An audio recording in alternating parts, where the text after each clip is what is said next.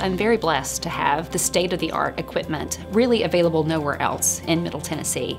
We have access to devices that allow us to actually robotically drive a scope throughout the patient's lungs and look lung cancer in the face as we biopsy.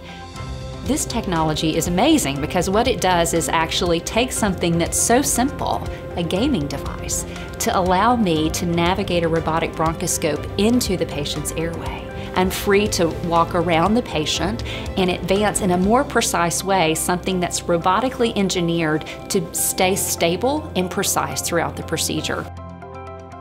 So the most important thing to know is that I get real-time results. As I'm looking at it, it may look all the world like lung cancer, but it isn't lung cancer until I have a pathologist look at that tissue and tell me for certain. A pathologist is a specialist who deals with tissue diagnosis. I have the benefit of having them in the room with me, face to face with me, having a dialogue. We discuss the patient's history, we discuss why what I'm looking at looks like cancer, and then I get instant feedback. That truly allows me to tailor each and every procedure precisely to what that patient needs. When you have a spot on your lung, the most important thing to rule out is cancer. The majority of patients currently that present with lung cancer, 75% of them have end stage disease.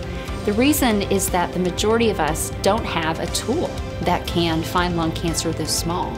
When lung cancers are smaller than two centimeters, the chance that a regular pulmonologist would be able to do a biopsy and find that cancer is less than 15%. But if we find lung cancer early, that means there are no lymph nodes.